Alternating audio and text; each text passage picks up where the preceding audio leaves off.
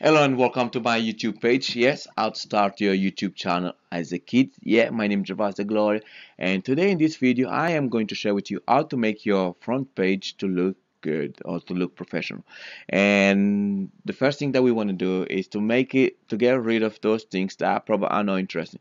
The things that will appear on your page that we don't need it and that we can that, so that we can make it look nice. How do you go about to do those? these things? Well, the process is simple. You're going to click on here.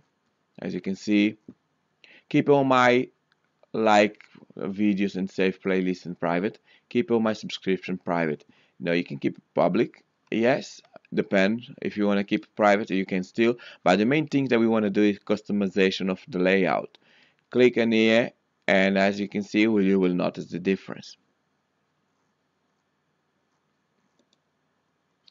So the customization will change.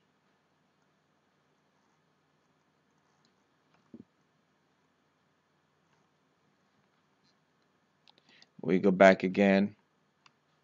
Actually didn't change.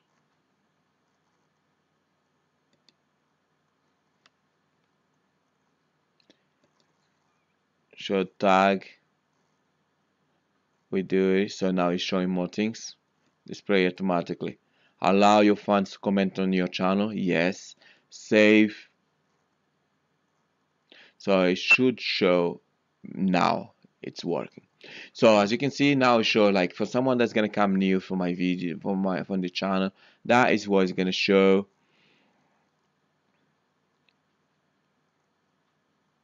And that is not what we want to, to show the video starting but we want to show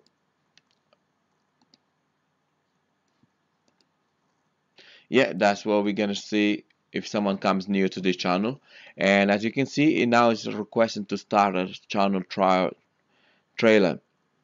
So welcome to welcome to subscribers to the channel.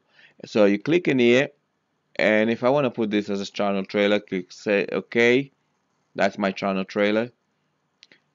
And I can add sections on my in front of my channel. So I can create all my playlists. I want to show horizontal or vertical and done. And if I add more playlists more sections I can add. It gives you gives a lot of options popular uploaded. So you can put like most popular uploaded video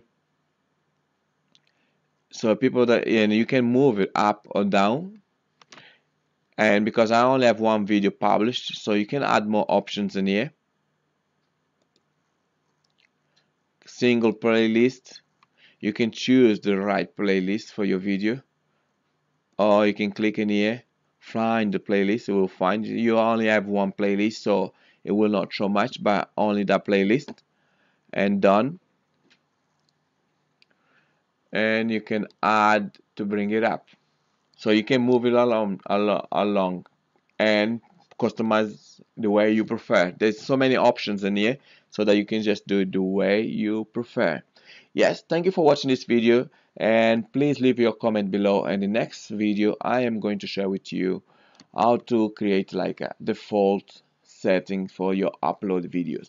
Thank you. Now that you got more of ideas how this works so it's gonna make so easy and simple for you to follow. Thank you for watching and please leave your comment below. How useful was that for you? Thank you